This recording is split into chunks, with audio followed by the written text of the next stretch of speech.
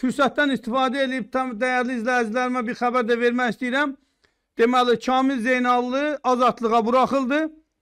E, onun köməkçisi, dostu Nicat bu haqda məlumat veribdi. E, indilərdə azadlığa çıxıb xatırladaq ki, Damədə də o adına hava limanında həbs olunmuşdu dünən gecə. Hə, budur.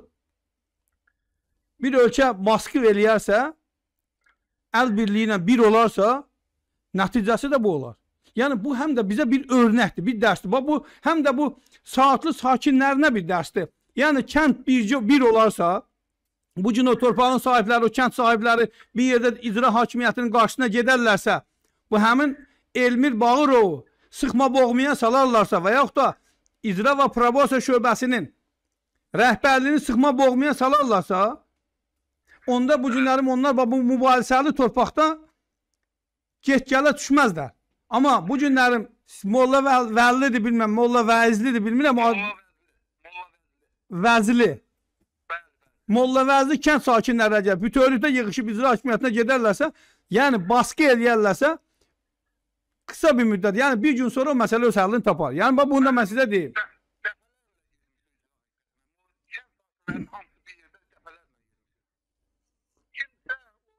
Ora hamı gedib efirə e, e, ora gedib və orada işıqlandırmaq lazımdır. Oldu mu? Bəli, bəli. Oldu. Təşəkkür edirəm. Sağ ol inşallah. Sağ olun. Bəli, dostlar. Mən də hər kəsi təbrik edirəm. və Kamil Zeynallıya da buradan səslənirəm ki, Kamil bəy bir daha Rusiyaya ayağı qoyma. Çünki orada vəziyyət hal-hazırda çox pisdir. Mənə elə gəlir ki, verilişimizi sonlandırmaq olar. Çünki çox e, yaxşı bir xəbərlə sonlandırırıq. Dostlar, heç kəs istəmərəm ki, e, şeyə düşsün, nədir, və beləncə bir sıxıntıya düşsün. Mən Kamilin videosuna baxanda həqiqətən çox narahat oldum. Onun çox qorxduğunu mən gördüm. Həddən az çox narahat idi, qorxmuşdu. Çünki e, Ermənistana veriləcəyi təqdirdə nə baş verəcəyidi bunu bilmirdi. Yəni bu da təbii insanlıq halıdır. İstəyirsən nə qədər gücün olur olsun, əgər sən düşmənin əlinə verilirsənsə, aqibətin də nə olacaq bilmirsənsə, çox narahat olmalısan. Mən budur düşünürəm. İlkin Rızayev yazır ki, Asif Rusun söyüşə nə daxlı var? SSR vaxt Azərbaycanda bir sən öz sözünə görə adamın dərisini soyardılar. Bilirsən də söyüş söymək Azərbaycana hardan gəldi? Bekar olanda Türkiyənin bir filmi var.